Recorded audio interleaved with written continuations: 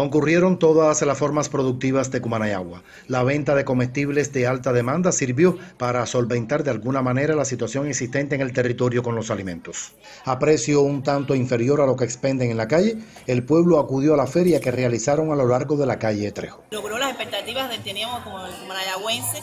Eh, participaron todas las empresas de la agricultura, todas las dos pecuarias, el cítrico y la EMA se están expendiendo todos los productos agropecuarios que se pudieron alcanzar. Tenemos plátano, viande, yuca, calabaza, maíz, tenemos también la parte de las proteínas. Logramos que esta feria fuera un poquito más extensa, a pesar de que todos los jueves el municipio tienen el mercado agropecuario, la feria a las 3 de la tarde, donde toda la población puede llegar hasta allí y acercarse, donde se refuerce el mercado.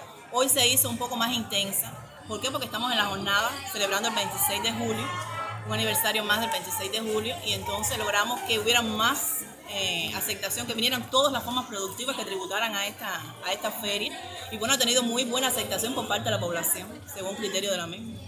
Variedad de productos fueron ofertados, todo ello dentro de las acciones que ejecutan como parte de la celebración de la efemérides del Moncada, organizada por el gobierno, el Ministerio de la Agricultura y representantes de las más de 20 CCS y CPA con que cuenta el territorio. El encuentro se hace habitual en fechas conmemorativas para los cumanayaguenses. Tal es el caso del Día de la Liberación, Día de las Madres y los Padres, el primero de mayo y 26 de julio, momento donde adquiere esta magnitud. Guillermo Martínez López, Notisur.